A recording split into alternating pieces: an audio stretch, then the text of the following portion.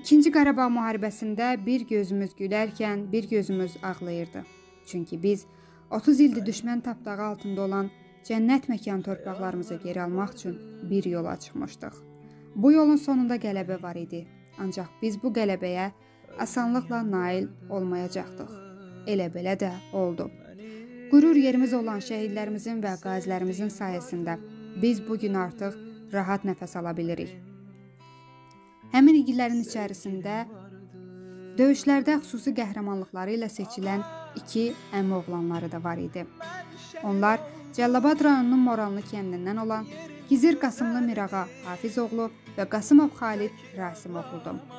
Mirağa 2015-ci ilin iyun ayından etibarən hərbidə kəşfiyyatçı işləməyə başlayıb. Xudafərin körpüsünə bayraq sancanlardan biri də Mirağa olub. Xalidin şəhidlik xəbərini alandan sonra o qəzəbini boğa bilmir və silahı kənara ataraq xain düşmənlə əlbəyaxa döyüşməyə başlayır. O, yaralı yoldaşını döyüş meydanından götürmək istəyərkən başından vurulur.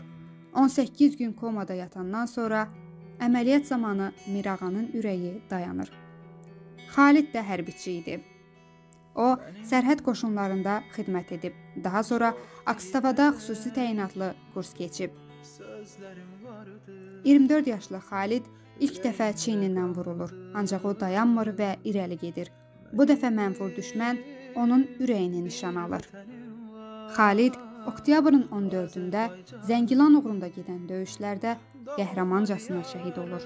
O ailəli idi və iki qız övladı var idi. Bu gün bir-birini qardaş kimi sevən bu igidlər eyni torpaqda birlikdə uyuyur. Məzarınız nurlu olsun igidlər.